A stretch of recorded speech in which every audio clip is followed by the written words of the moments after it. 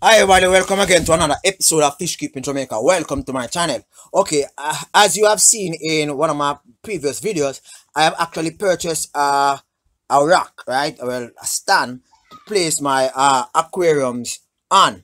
So not only will I be displaying my, my fish in the pond, in the natural light habitat, but I'll be trying to display them um, in a more, you know, visible manner uh, in aquariums. I think it's six aquariums I have uh, so I had a, so I call it about, uh, I had a 30 gallon aquarium, right? Which was about uh, four foot, four foot by one foot by one foot uh, wide in, in, in, right? If you calculate it, it's about, probably about 30 gallons of water. So it was a little bit too long for my stand and I was just not in the mood to actually get another stand uh, so as to crowd the space in which I have.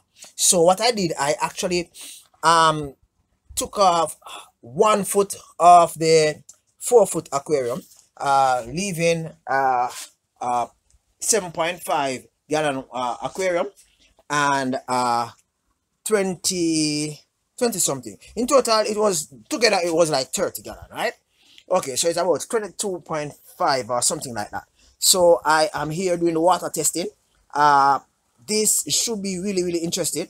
Uh what i believe in with the smaller piece how should I say, small aquarium, is to actually place my betta fish, or fishes, in it. Uh, I've seen videos where rich persons have actually hit it out against, hit out against um, keeping betta fish in small spaces.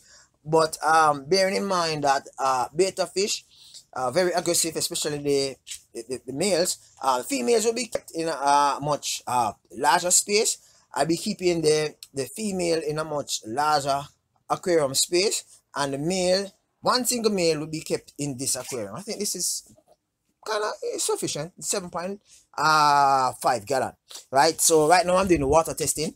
I had to in in actually converting this into two aquariums i had to get um uh two additional sites because after i've actually cut the glass and everything i was short to make this by two sides so i did that and it's okay so far the water testing is going okay I haven't seen any leak, haven't spotted any leak as yet, and uh, thing is working out just fine.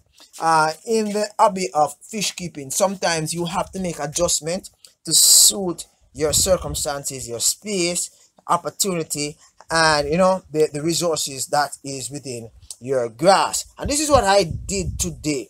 Well, really and truly, what I should have done was to show you that I pulled up the 30 gallon. I should have shown you when I'm cutting it. I should have shown you when I'm placing it back together. But all that would be uh, much ado about nothing because I've actually done uh, making uh, aquariums already in uh, other videos. Uh, I will give you a link to these videos uh, in uh, below, right? And thank you very much for stopping by. I hope that this video was of interest to you. And um, as I go forward, you will see these uh, same aquariums um, being uh, fitted up, uh, retrofitted to suit the different type of fish that will be housed in it. Uh, have a wonderful day. Bye bye for now. Riley here. Peace.